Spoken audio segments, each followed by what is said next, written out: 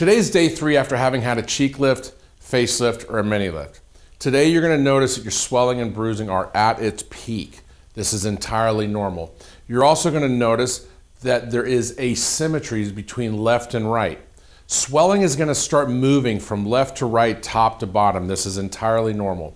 Continue with your cleanings, continue with your washings, and continue with the cold compresses.